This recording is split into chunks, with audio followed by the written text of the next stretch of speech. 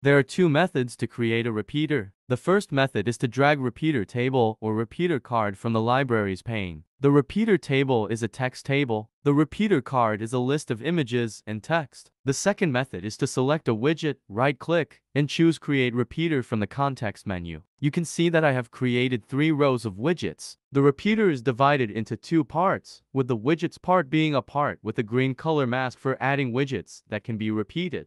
Floating below is the repeater data table. A data table is used to add contents to a repeater, which can be text, reference pages, or images. Double-click the widget part to enter the repeater canvas, where you can add, delete, and edit the widgets. We add a box.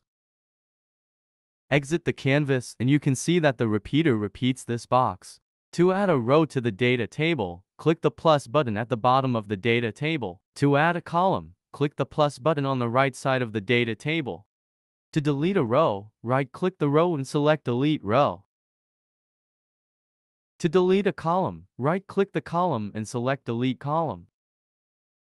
We add a new column, then input the data.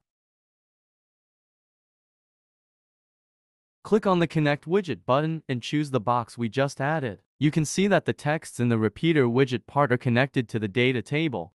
If you need to add a link to a widget, you can right-click a cell on the dataset and select Reference Page from the menu. Then choose the page to reference. You can see an icon next to the reference cell, click it, and you can edit the page to be referenced.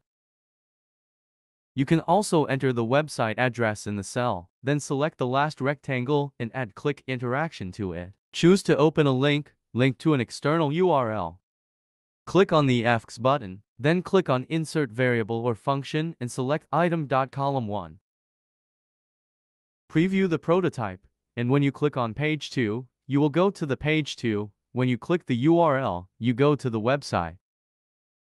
To import images, we first add a column, then right-click on the cell, select Import Images, and choose the image to import. Drag the image into the widget part. Then click Connect Widget Choose the image, exit the canvas, and you can see that the image is connected to the repeater.